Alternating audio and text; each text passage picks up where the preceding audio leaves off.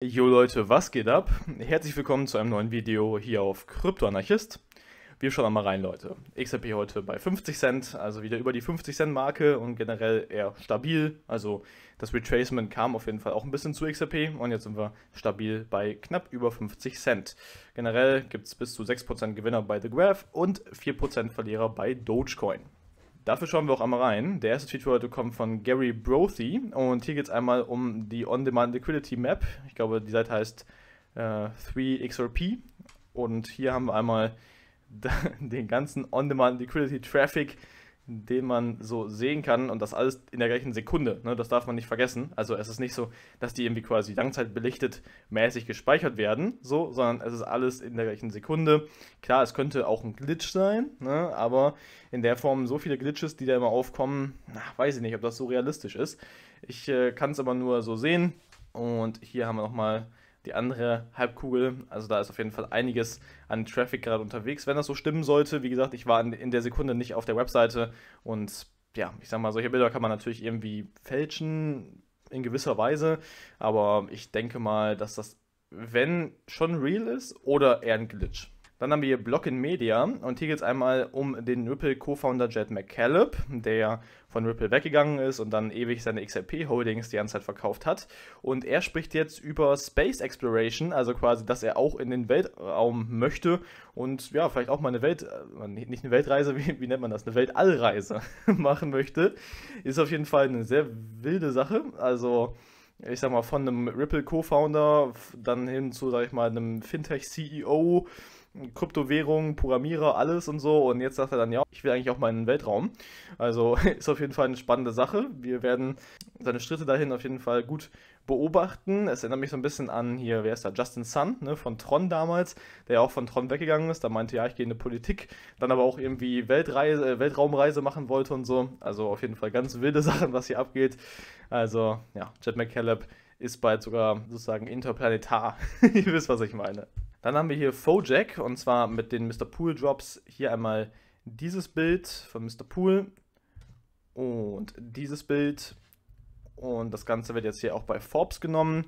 Banks are about to face the same tsunami wie die Telekom 20 Jahre zuvor. Also Forbes sagt hier eine Art, ja nicht, also Crash, weiß ich nicht, ob das als Crash gemeint ist, aber quasi, dass da schon auf jeden Fall einiges anrollen wird an Problemen. Das Ganze ist hier also quasi ungefähr vor einem Jahr gepostet worden. Natürlich kann man aber von den zeitlichen her jetzt keinen krassen Zusammenhang erkennen. Also wenn es jetzt zum Beispiel genau ein Jahr später wäre, dann wäre es natürlich heftig. Aber hier wurde es halt eben am 30.10. gepostet, vor einem Jahr. Und hier haben wir es jetzt am 24.09. Ja, ungefähr könnte man sagen, passt es. Aber ich glaube, um genau eine Verbindung zu ziehen, ist es halt noch zu vage. Dann haben wir hier den Bullrun Wonka und hier geht es einmal um den Bearable Bull. Das ist ja ein bekannter XRP-YouTuber, der eben viel über Krypto spricht, sehr bullish ist, immer wie der Name schon vermuten lässt und im Endeffekt, ja, quasi einfach immer XRP chillt und sagt, ey, das ist so geil und so. Finde ich auf jeden Fall super, was er damals gemacht hat. Aber er hat auch einen Paid Udemy-Kurs, also quasi einen Kurs, wo er Coins vorstellt ne? und ich sag mal, das ist natürlich immer so ein zweischneidiges Schwert. Ne? Wenn man da was Gutes empfiehlt, wenn man sagt, ey, ich habe die Fundamentals gemacht, die Researches und das ist ein guter Coin, dann geht es ab, dann sagen alle, ey, wie geil, ne? sind super hyped und super happy und so weiter. Auf der anderen Seite, wenn das eben natürlich dann runtergeht, dann sagen alle, ey, der dreht uns hier irgendwelche schlechten Coins an und so weiter. Also sind alle sehr negativ gegen eingestimmt. Und so war es hier auch mit dem Fire. Das hat er wohl in seinem Kurs beworben.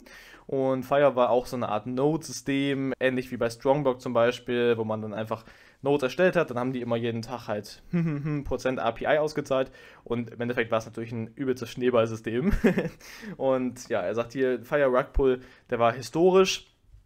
Und deswegen ja, sollte man ihm nicht mehr vertrauen quasi. Genauso wie NX dann hier ein bisschen weiter researched hat und gesagt hat, dass er alle Videos von 2019 und 2020 runtergenommen hat von seinem YouTube-Kanal, weil er erst ab dem 21. Mai 2021 eine neue Firma gegründet hatte, die Bearable Bulls Crypto Consulting LLC, also die Limited Liability Company quasi, also eine Art Gesellschaft mit beschränkter Haftung einfach.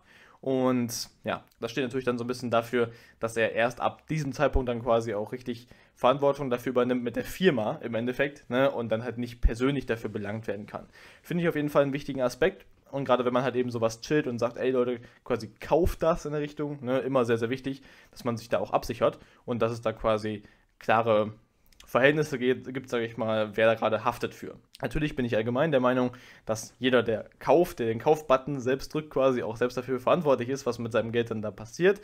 Aber in der Welt ist es natürlich leider so, dass wenn jemand sagt, hey, kauf mal das und dann kauft jemand das, verliert damit Geld und der Typ hat ein bisschen Follower, dann ist das gleich, als wenn der Typ, ja, weiß nicht, dem eine seriöse Anlageberatung gegeben hätte und hier einem schriftlich gibt, ja, ich mache eine Anlageberatung. Das ist natürlich hier nicht der Fall. Auch bei all meinen Videos ist das nicht der Fall. Deswegen sage ich das auch immer. Alles nur meine Meinung, keine Anlageberatung. Investiert niemals irgendwas, weil ich irgendwas sage hier oder weil ich irgendwas nicht sage. Ihr wisst, was ich meine. Dann haben wir hier einmal Stefan Huber mit Brad Garlinghouse und äh, quasi Cardano und Ethereum. Das sind ja so ein bisschen auch die Top-Spitzenreiter der Kryptowährung allgemein. Und hier geht es einmal um Artikel, die jetzt dann zu Ethereum veröffentlicht wurden, dann auch zu Cardano ne, und ähm, ja, dann halt eben auch zu XRP damals. Ne, damals war es bei Brad Garlinghouse, dass er seine XRP auf die Retail-Investoren dumpt, also quasi verkauft ne, zum Leidwesen der Anleger. Bei Joseph Lupin war es dann so, dass man seine Ethereum Holdings decentralized hat. Ne? Und bei Cardano ist es jetzt im Endeffekt so, dass man ein Delay hier prophezeit. Und zwar hier von der Cardano Vasil Hard Fork. Dann haben wir hier einmal James Rule XRP.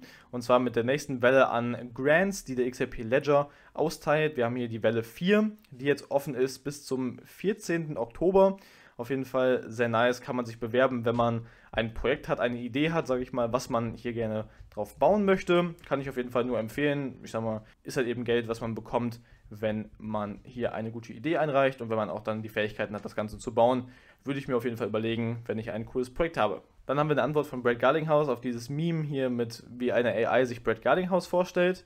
Und Brett Gardinghaus sagt das hier, dass er das zu seiner nächsten 1 zu 1, also 1 von 1 Agenda aufnehmen wird. Und dann haben wir hier nochmal das Bild in einer anderen Form als, als Superman.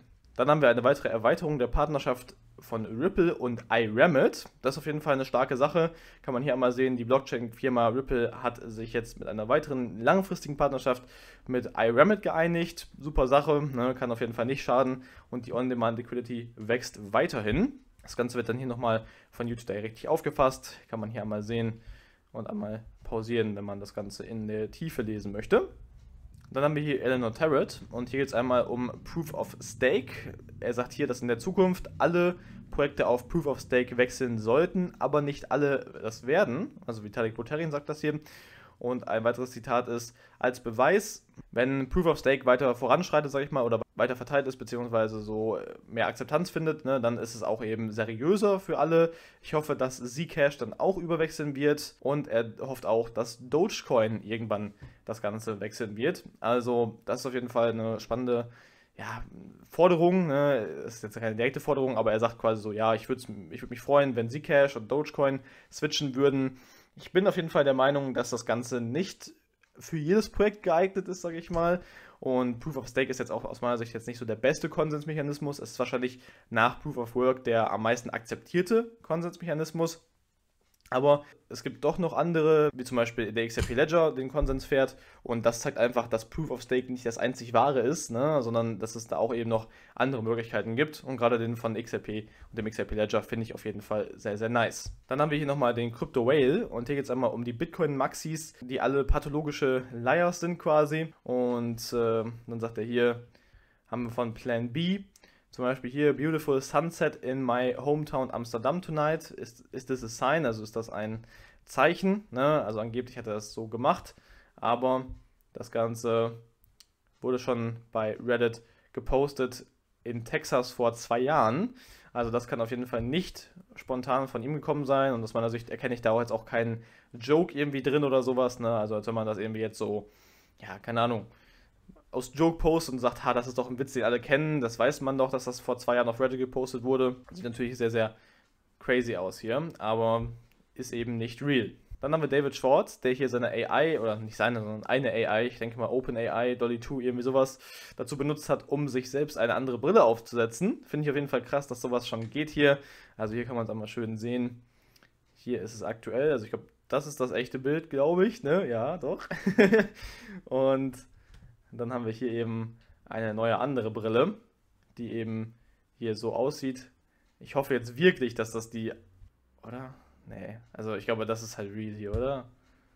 Ja, safe, guck mal, weil, weil hier mit dem Schatten, ne? Das hier wird das angeleuchtet von der Sonne. Die AI checkt aber nicht, dass die Sonneneinstrahlung von hier oben kommt, also nur marginal quasi. Und das müsste hier auch dann hell erleuchtet sein. Okay, ja, dann ist das hier auf jeden Fall die Fake. Ähm, hätte ich mich fast selber getrickt irgendwie, aber ihr wisst, was ich meine. Hier kann man auf jeden Fall einiges mitmachen. Und klar, finde ich auf jeden Fall krass, dass man das auch so einfach abändern kann. Am Ende haben wir noch vom Dark Defender hier einmal eine schöne Analyse. Generell ist hier immer viel zu sehen. Ne? Also hier ein Downtrend, das war hier oben bei 83 Cent, dann runter und dann hier aus seiner Sicht wieder hoch auf 50 Cent. Fibonacci Retracement. Er sagt hier, es könnte jetzt so ein bisschen höher noch gehen, dann wieder ein bisschen runter, so auf 65 Cent und dann wieder auf über 83 Cent. Wäre natürlich eine starke Sache. Er sagt hier, 72 Cent werden auf jeden Fall kommen. Und am Ende haben wir noch wie immer von Bulban Wonka einen Fun-Tweet hier für die XRP-Holder. Und rechts einmal die Ethereum Chiller. also auf jeden Fall das Ganze nochmal auf Wish. Ich habe mich natürlich gefreut, dass ihr heute mit dabei wart und ich hoffe mal, wir sehen uns auch morgen auf diesem Kanal wieder zu neuen News rund um den Kryptomarkt allgemein. Bis dahin, schreibt mir doch mal gerne in die Kommentare, was ihr so denkt zu den ganzen Themen und gebt ein Like oder Dislike, wenn es euch gefallen hat. Wir sehen uns, Leute. Haut rein. Ciao. Ciao.